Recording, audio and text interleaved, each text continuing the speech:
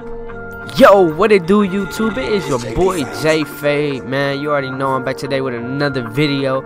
I still got this uh this mask and helmet and goggles on from the last video. Uh, that little glitch, but today I got a different little method for you guys. Uh, this is so you can get into like a little somewhat of a solo lobby, like a semi-solo public lobby, so you can do little CEO missions, uh, motorcycle club missions without people fucking with you. You know what I'm saying? So, uh, you see, I'm in a little public session with five, with six people. Excuse me, six people in it. Uh, you know, so I'm gonna show you guys what I do to get into little little session. So what I do, I, I just I just simply go to find new session. You know what I'm saying? Go over to online, go to find new session, and uh, I just do that I just keep doing it until it um until it puts me into a session with at least like like four other people. You know what I'm saying? Cause it, it gets outrageous. You see, it, it, doesn't it doesn't always work the first time. You know what I'm saying? So it's it's a little trial and error. You know what I'm saying? Just keep doing it over and over until you actually do it. I mean.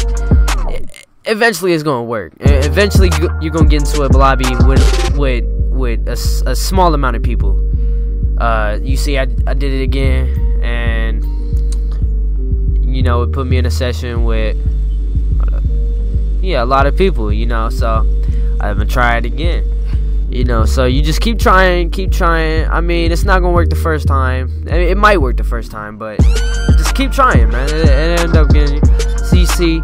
It's I got in a session with six other people, you know, and you see like chances are the people in that session they just doing they doing their thing too. They just trying to do the same thing that you trying to do. You know, so it don't really matter if there's a couple other people in there. So for the sake of the video, I'm gonna try again. Try and get into a uh, smaller lobby. I mean?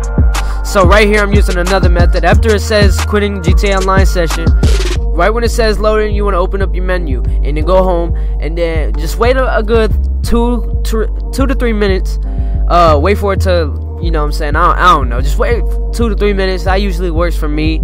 Uh, so just after that little amount of time, you just go back in and uh, it'll load you into a session uh, it doesn't work every time. If it don't work the first time, try it again. If it don't work the second time, try it again, man. Just keep trying until you get into a, a nice little session where people not fucking with you. They just doing their own thing, little thing too.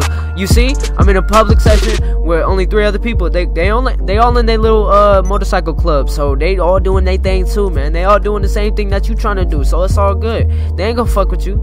I mean, if they do, you just fucking cap their ass. It don't.